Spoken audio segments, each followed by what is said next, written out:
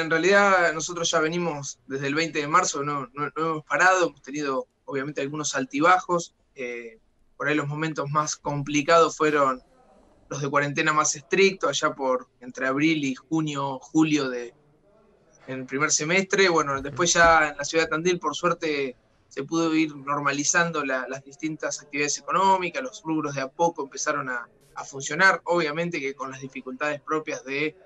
eh, poner en marcha nuevamente todo, todo el aparato productivo y el entramado económico de la ciudad, pero bueno, eh, notamos obviamente una merma desde, desde aquellos desbordes que tuvimos eh, entre el primer y segundo trimestre del año. Así que bueno, por suerte de a poco fuimos acomodándolo. Ahora obviamente seguimos teniendo algunos sectores focalizados que necesitan por ahí un acompañamiento y una asistencia, pero de a poco podemos decir que se fue volviendo a la normalidad. Eh, obviamente que no, no nos quedamos con los números por ahí prepandemia, sí tuvimos ahí, nos quedó una merma que fue quedando de gente que lamentablemente y ligado a la, a la economía por ahí más informal, que es la que más está costando que recupere el ritmo, eh, han necesitado, pero la gran mayoría de los que teníamos anotados que nunca se habían acercado a la Secretaría y que necesitaban una asistencia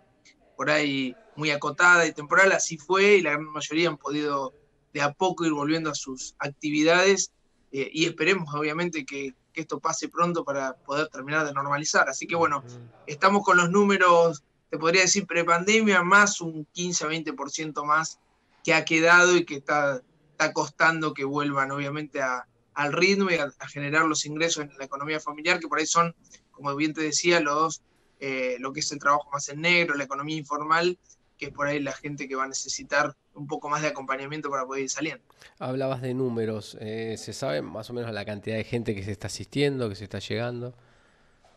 Mirá, nosotros cuando en prepandemia teníamos una, las asistencias nuestras han seguido, no, no se han cortado en lo que son ayudas económicas, ayuda en, concepto de alquiler, de pago de, en el caso de los servicios, por ahí se cortó un tiempo porque no había, no hay corte de, energía eléctrica, pero hemos tenido los, los montos y los cupos eh, establecidos con, con, la usina, así que se pudieron seguir trabajando. Eh, y con respecto a la asistencia alimentaria, nosotros la tarjeta no, no, no, sufrió ningún tipo de recorte, ni, ni en cantidad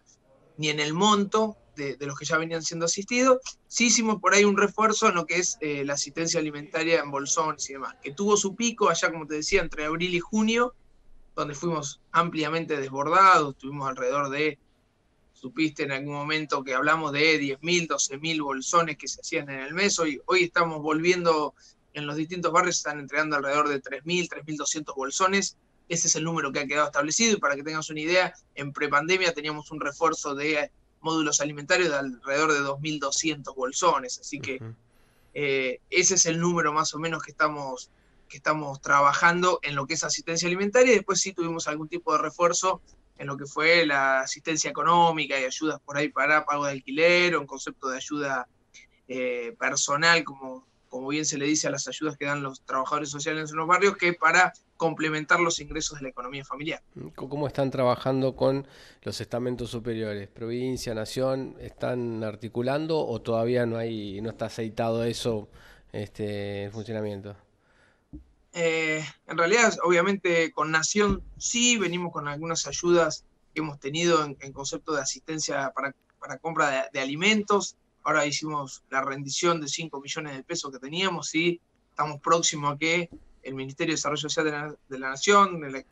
la, cartera de comanda Arroyo, eh, nos pueda mandar otro desembolso que se comprometió con el intendente, así que estamos a la espera de eso. Eh, y después con provincia hemos hecho algún viaje a buscar alimentos, algo de, materiales que nos han enviado, pero eh, la verdad que está, está, difícil para la búsqueda, para ir a, a, La Plata, que es los lugares donde generalmente se ha ido, así que bueno, hemos tratado de eh, conservar un poco esos viajes que teníamos, pero bueno, de a poco esperando la normalidad para, para poder hacerlos más frecuentemente.